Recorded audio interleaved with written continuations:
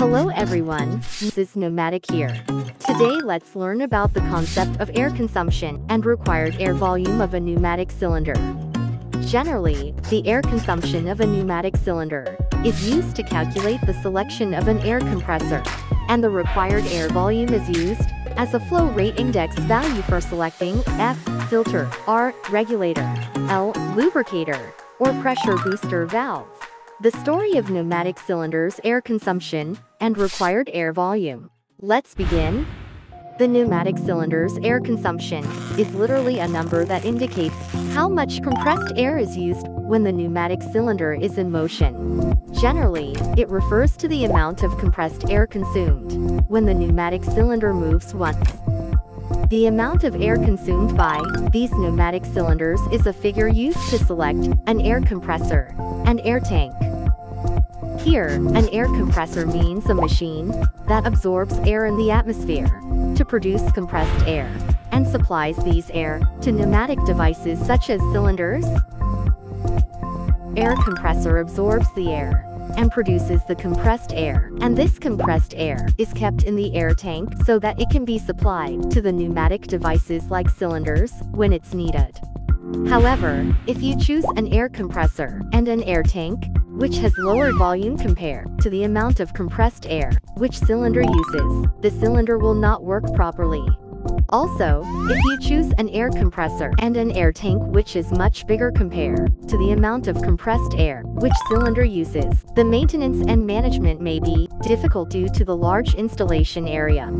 Therefore, if you know the amount of the compressed air that your pneumatic cylinder uses, it will be helpful to choose the right air compressor and an air tank which suits with your working condition. It is recommended to choose an air compressor type that is about 40% larger than the actual air consumption used during the process, considering the leakage loss of pipes or valve. Now, let's look at the cylinder's air consumption again by looking at the reciprocating motion of a double-acting cylinder. The compressed air flows into the pipe when the piston of the cylinder moves forward, and compressed air is consumed in the pipe, connected to the cylinder, and consumed inside of the cylinder.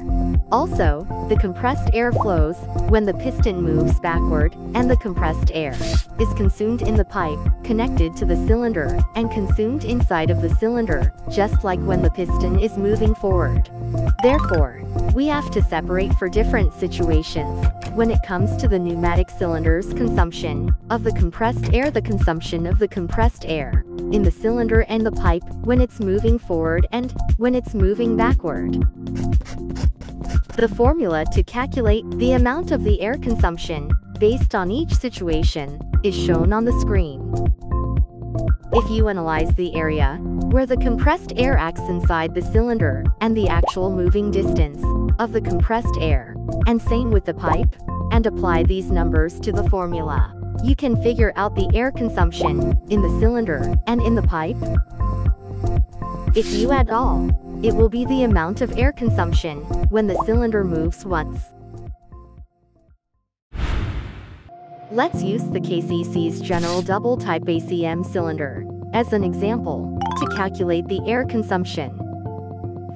The ACM cylinder here has 50 millimeters of tube diameter, 20 millimeters of rod diameter, 100 millimeters of cylinder stroke, and for convenience of calculation, let's assume that the 8 mm inside diameter and 2 meters of nylon tube is identically installed in both forward and reverse directions. Also, let's assume that the pressure is 0, 5 megapascals. First, let's look at the cylinder moving forward. Inside the cylinder, the compressed air acts on the entire cross-sectional piston area, and since the cross-sectional area of the piston is circular, the area can be calculated through the formula for bore diameter and circle area. Also, the actual distance that compressed air moves is same as the length of cylinder stroke, 100 millimeters. Now, if you look at the connected pipe, the cross-sectional area is also circular, so we can use the circle area formula with using the 8 millimeters of inside diameter of the pipe to calculate the actual distance.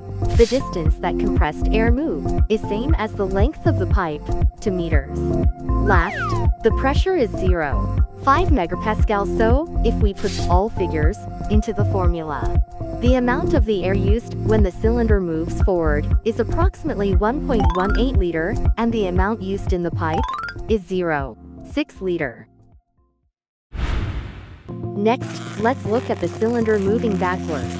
The compressed air inside, the cylinder acts on the section, excluding the rod's cross-section area, from the piston's cross-section area.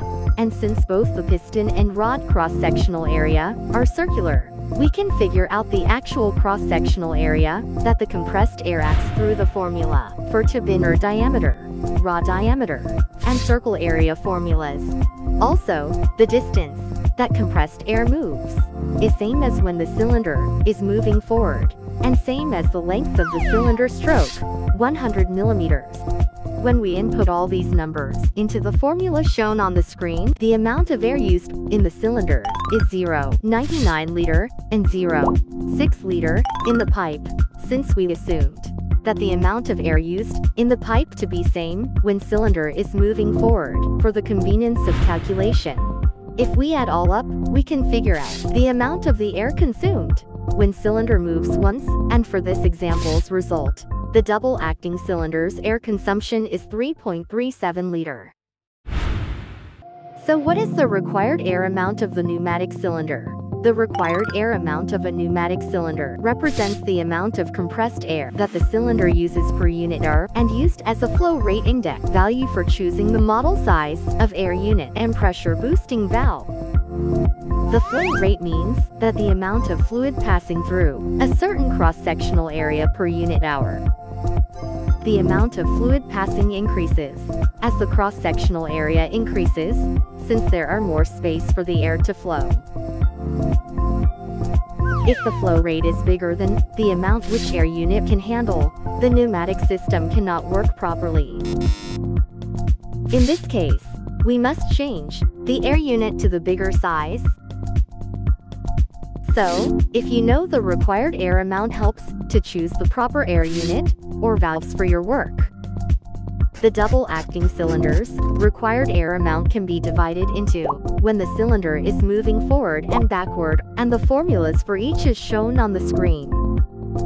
If you look at the formula, the consumption of the air we calculated before can be used for the calculation of required air amount when cylinder is moving forward and backward, and whichever is bigger will be the required air amount of the pneumatic cylinder. For example, we can use the previous example, we used 50 millimeters of turbine diameter, 20 millimeters of rod diameter, 100 millimeters of ACM cylinder stroke, and the 8 millimeters inside diameter, and 2 meters of nylon tube is identically installed in both forward and reverse directions, with a pressure of 0.5 megapascals, and we assume that the required time when the cylinder is moving Forward and backward is 0, 5 sec. If we put the calculated numbers to the formula, the 1.18 liter of air consumption, when moving forward, the 0, 6 liter in the pipe, and the 0, 5 sec for the required time, the cylinder's required amount of air, when moving forward is 213.6 liter per minute. Also, for the cylinder moving backwards, we can put the numbers in the formula. The 0, 99 liter of air consumption, when moving backward, the 0, 6 liter in the pipe, and the 0, 5 sec for the required time. The cylinder's required amount of air, when moving backward is 190.8 liter per minute. Now, since the bigger result will be the cylinder's required air amount so theoretically, the required air amount will be 213.6 liter per minute.